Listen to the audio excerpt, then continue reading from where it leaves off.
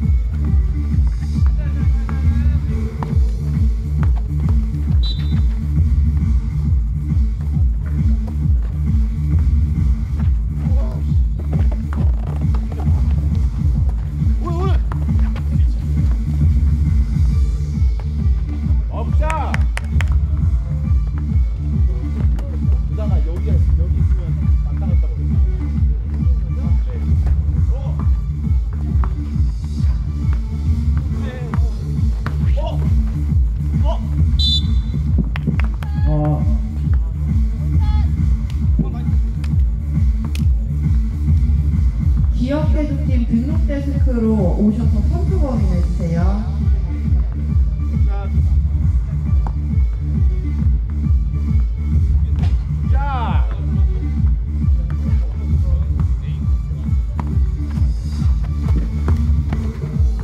이어폰 팀 뒷코트로 오셔가지고 선수 등록해주세요.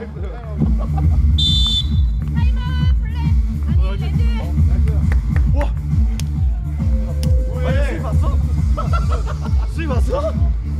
아, 와난 몰라